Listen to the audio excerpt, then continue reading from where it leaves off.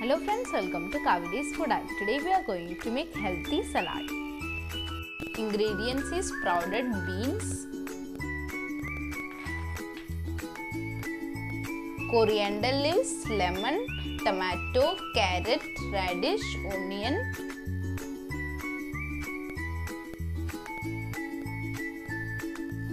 Take a cooker, add sprouted peas. 1 spoon salt.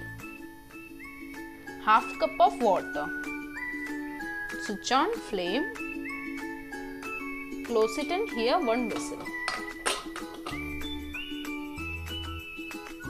After one whistle, sprouted beans is half cooked. Serve it in a bowl.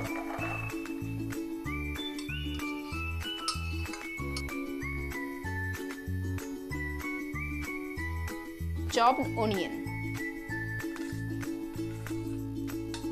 tomato, carrot, radish, coriander leaves, half spoon pepper powder, some salt. And lemon juice. Mix it. Tasty sprouted beans salad recipe is ready.